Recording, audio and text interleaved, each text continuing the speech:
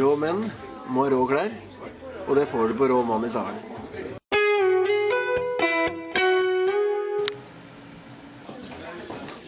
Ida B. Helgeland, du er kjøpmann i Stavern. Hva er det du selger for noe? Her selger vi dameklær og herreklær. Eh, Vi er oppe hele året her på Råsa. hver eneste dag hele året. Eh, Også søndagsåpent, for Stavern har fått noe helt spesielt, så at vi klarer å ha oppe hver dag. Så det er eh, veldig stas. Hva er de butikkene dine heter for noe i Stavern? Det er Rosa som er, eh, står på Rått eh, og sanselig.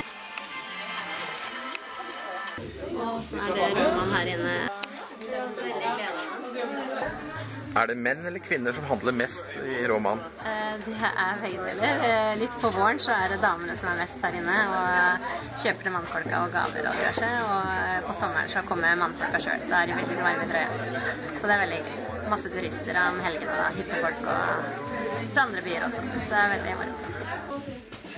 Nei, det ryktes jo at Roman har de kuleste klærne i byen, så da måtte vi jo ta en tur og kikke, da. Vi, var jo, vi gikk jo modeller her for et par år siden, så Ja. damene kikka mye. For sånn. Og dere får mye poeng og mye oppmerksomhet. Veldig mye oppmerksomhet. Så uventa mye. Så da, da kommer vi tilbake år etter år, selvfølgelig. For å finne nye, nye plagg. Nå har fylt opp posene igjen. Han klarer vi våren.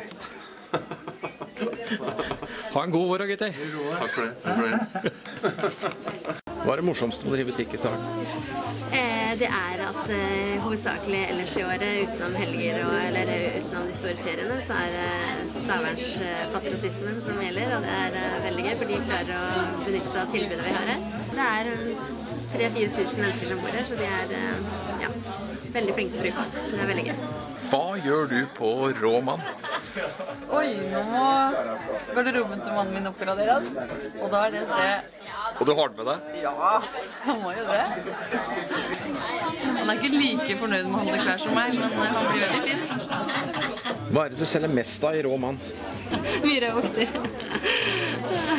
ja, nei, det er egentlig veldig alt. Vi klarer å selge mye, så vi sitter igjen med veldig lite på slutten av sommeren, heldigvis. Lykke til videre. Ja, tusen takk.